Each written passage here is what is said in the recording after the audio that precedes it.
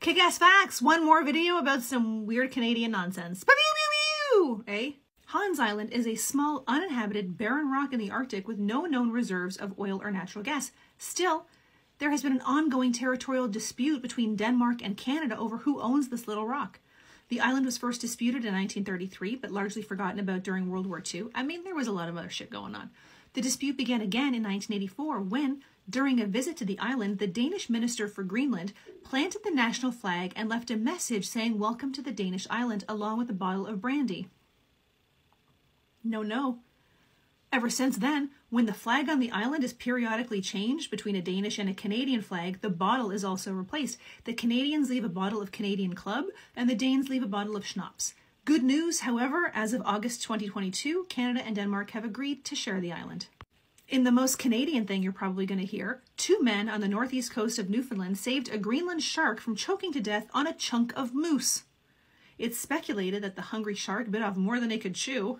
from a nearby bank where hunters gut moose and throw the scraps into the water. The men arrived on the scene and began pulling out the two foot long piece of moose.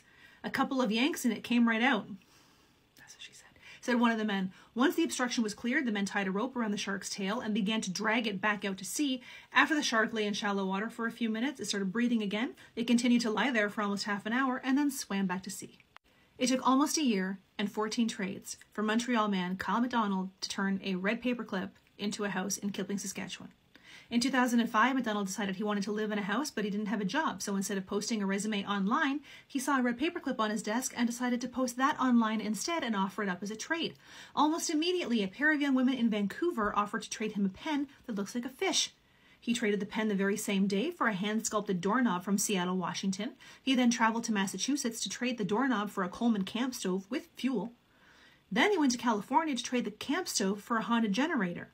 From there, he went to Queens, where he traded the generator for an instant party, an empty keg, an IOU for filling the keg with the beer of the bear's choice, and a neon Budweiser sign. That doesn't say party. I don't know what does. Then he traded the instant party to a Quebec comedian and radio personality for a snowmobile.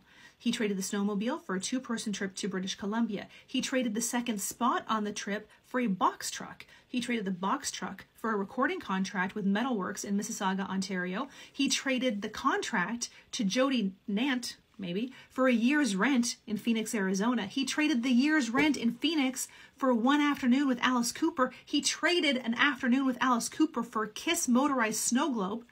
He traded the snow globe to Corbin Bernsen, actor and avid snow globe collector, for a role in the film Donna on Demand. He then traded the movie role for a two story farmhouse in Kipling, Saskatchewan. The mayor of Kipling offered the trade and was planning to auction off the movie role.